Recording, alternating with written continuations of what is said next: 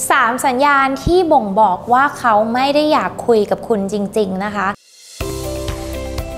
ข้อแรกเลยก็คือเขาไม่สม่ำเสมอค่ะมามาหายหายตอบแชทบ้าง ไม่ตอบแชทบ้าง ทิ้งแชทไว้ 2-3 วัน 4-5 วันบ้าง กลับมาตอบวันหนึ่งคุย 2 วันแล้วหายไปอีก 2 วันบ้าง การไม่สม่ำเสมอแบบนี้นะคะ คือไม่มีการพัฒนาขึ้นมีแต่แย่ลงหรือเท่าเดิม อันเนี้ยเรียกว่าไม่สม่ำเสมอ เพราะฉะนั้นถ้าเกิดว่ามันเป็นการคุยแบบนี้มันยังเป็นสัญญาณที่บ่งบอกได้ว่าเขายังไม่ได้อยากคุยกับคุณจริงๆอะหรือพูดที่ชัดเจนไปกว่านั้นเลยก็คือ เขายังไม่ได้ชอบคุณจริง ๆนะคะ เพราะฉะนั้นการที่ผู้ชายมามาหายหายมามาหายหายแล้วเขาบอกว่ายุ่ง มันไม่ได้แปลว่าเขายุ่ง แต่มันแปลว่าเขายังไม่ได้ให้ความสนใจกับคุณ เขายังไม่ได้เห็นว่าคุณสำคัญขนาดที่เขาจะต้องสม่ำเสมอกับคุณนะคะ ข้อที่ 2 เลยก็คือเขาไม่มีคำถามค่ะ หรือว่าเขาไม่ได้อยากรู้เรื่องราวของคุณไม่ได้อยากรู้ว่าวันนี้คุณทำอะไรมีแผนการในชีวิตยังไงพรุ่งนี้คุณจะทำอะไรคุณว่างหรือไม่ว่างเมื่อไหร่ วันนี้คุณยุ่งไหม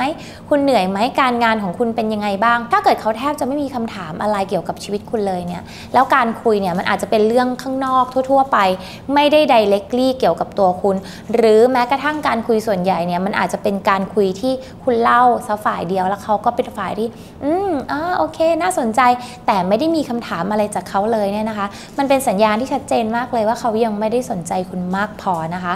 เพราะฉะนั้นถ้าเกิดเขายังไม่ได้สนใจคุณมากพอมันมีวิธีทำให้เขาสนใจค่ะ ข้อที่ 3 นะคะ สัญญาณว่าเขายังไม่ได้สนใจคุณมากพอเนี่ยคือเขาไม่ได้พยายามมาเจอคุณรอบ 2 มันหมายความว่าคุณอาจจะคุยกันแล้ว เจอกันรอบแรกไปแล้ว ไปกินข้าวไปดูหนังไปเจอกันแล้วนะคะ แต่หลังจากนั้นเนี่ยเขาไม่พยายามหรือไม่พยายามทำนัดในการมาเจอคุณครั้งที่ 2 แล้วก็ปล่อยให้การเจอครั้งแรกเนี่ยมันทิ้งช่วงห่างกันมาก ๆ เลย มันหมายความว่าเขายังไม่ได้สนใจและเขายังไม่ได้อยากคุยกับคุณจริง ๆ ทีนี้ถ้าเป็นอย่างนี้ทำยังไงล่ะคะ ถ้าเกิดว่าอยากให้เขาสนใจ